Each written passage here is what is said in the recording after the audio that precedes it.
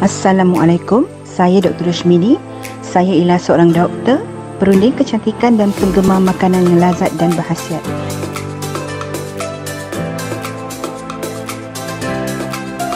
Jangan lupa subscribe Dr. Rushmini Storytime, like, share dan tekan notification untuk info menarik.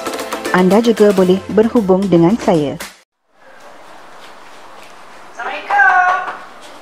Ku salam. Eh, tak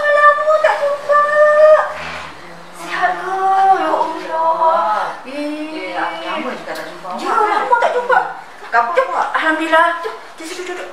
Yalah. Eh, Maida, banyak benar punya Ke? anugerah-anugerah ni. Ini semua anak saya kan? Ini semua anak-anak saya. Ini suami saya.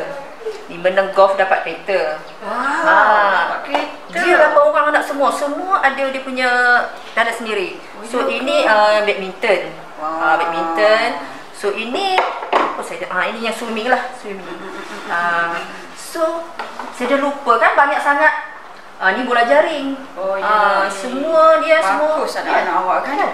Semua Wah, jenis aktif kan? Aktif. Aktif yang uh, aktif. kita duduk dulu kita cerita kan.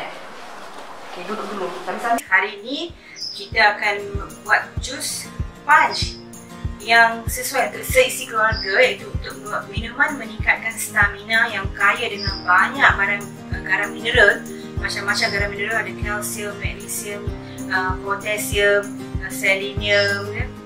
dan banyak lagi khasiat vitamin-vitamin yang sangat tinggi dan sesuai untuk kecergasan satu keluarga dan rasanya pun sangat istimewa.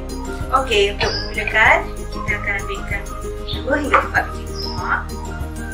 Saya gunakan kurma yang besar macam ni. Saya gunakan 2 biji sajalah. Kurma bagaimana yang kita tahu merupakan uh, makanan yang berhasiat ya.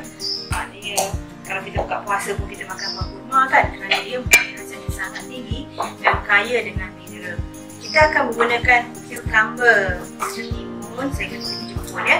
Cucumber ni ada uh, ataupun timun ni merupakan sayuran yang tinggi dengan segala mineral dan mineral daripada cucumber ni akan masuk dalam air kita dan memberi rasa yang sangat segar dan istimewa. Uh, sebenarnya kalau kita buat jus apa-apa pun, kalau kita tambahkan sedikit cucumber ni dia akan memberi rasa kesegaran yang istimewa pada jus kita tu. Okey dan akhir sekali beberapa irisan tembikai ya.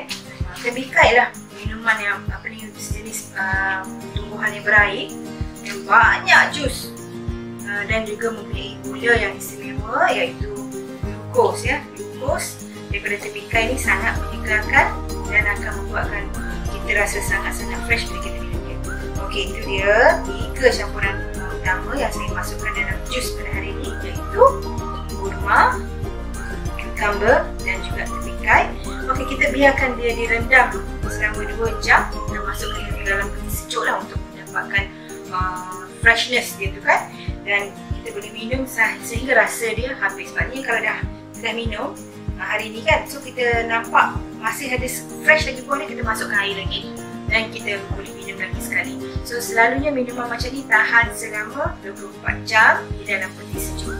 Jadi selamat mencuba dan merasa kemanisan dan kesedapan jus untuk kesegaran se- seisi keluarga daripada saya Dr. Shmini. So anda bolehlah like, subscribe, ring our bell dan anda juga boleh berhubung dengan saya jika ingin mendapatkan lebih banyak resipi-resipi istimewa.